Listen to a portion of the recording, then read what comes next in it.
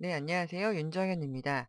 이번 시간은 PC와 모바일, 스마트폰을 연동할 수 있는 그런 프로그램이죠. 모비즌이라고 하는 프로그램을 한번 알아보겠습니다. 인터넷 검색창에서 일단 모비즌이라고 검색을 해주세요.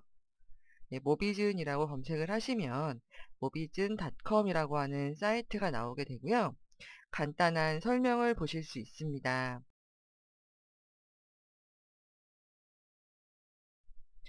음, 쭉 한번 살펴보시고요.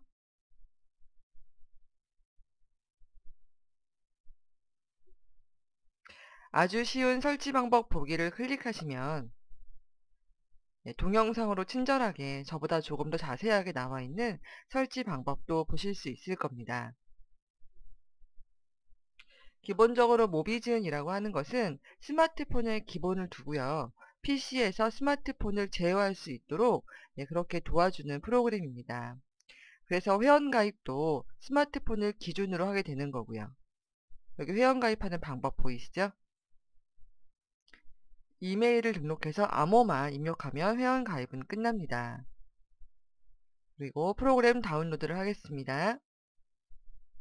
네, 실행 버튼 눌러볼게요.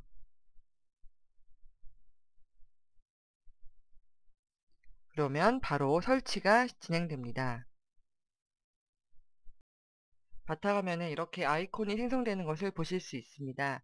아이콘을 더블 클릭하면 여러분 스마트폰처럼 보이는 프로그램이 실행이 되고요. 처음 보시는 분들은 이렇게 안내에 대한 페이지도 보실 수 있습니다.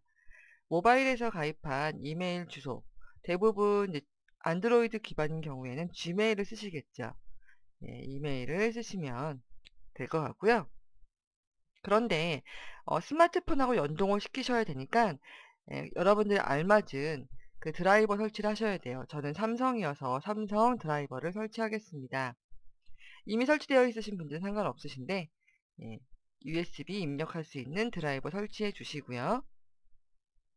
예, 통합 USB 드라이버 선택하시고 다시 열기 눌러서 바로 실행을 하겠습니다.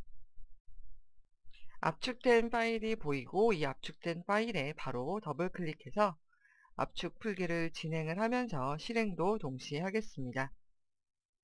네, 이미 설치가 되어 있지만 다시 한번 설치해 볼게요.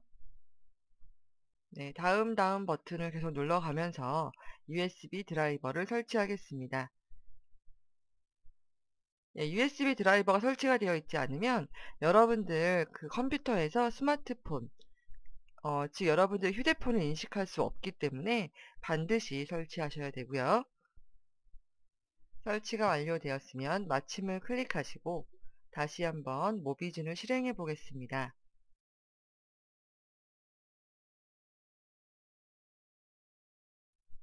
네, 스마트폰에서 가입하신 그 이메일 주소, 기본적인 안드로이드 예, gmail 주소가 되겠죠. 입력하시고요. 네, 다음 버튼 누르시고요.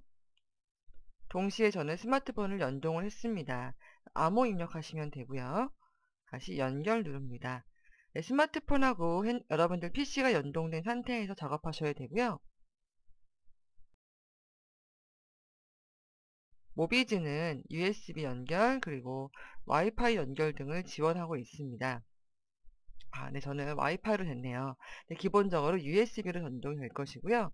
이렇게 지금 여러분 보시면 어, 제가 PC 화면을, 그러니까 스마트폰 화면을 보고 있는 거예요. 이게 저의 스마트폰 모양이고요. 근데 주의하실 거는 환경 설정에 가셔서 저는 조금 더 높은 버전이긴 하지만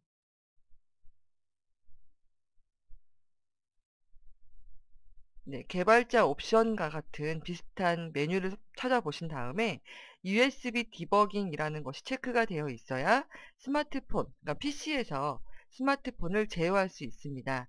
USB 디버깅이 저랑 똑같지 않을 수 있지만 꼭 체크하시고요. 보시면 네, PC, 내 스마트폰 내에서도 이렇게 모비진이 설치가 되어 있으셔야 합니다. 스마트폰 내에서는 모비진 설치하시는 방법은 네, 구글 플레이나 각각의 스토어에 가시면 모비즌이라고 입력하시면 돼요.